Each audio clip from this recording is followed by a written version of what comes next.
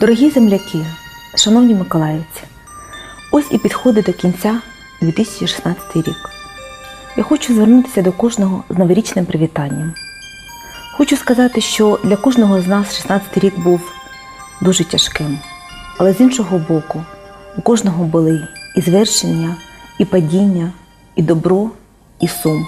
Хочу побажати кожному миколаївцю, кожному українцю, кожному земляку в 17 році, щоб збулася наша найзавітніша мрія, щоб в нашій країні запанував мир, щоб наші хлопці повернулися зі сходу України живими та здоровими, щоб кожна дитина посміхалася і раділа від ласки своєї матері, щоб кожна, кожний дідусь і бабусь отримали своє тепло і ласку від своїх дітей і онуків, щоб до кожної домівки був благословенний Господь Бог.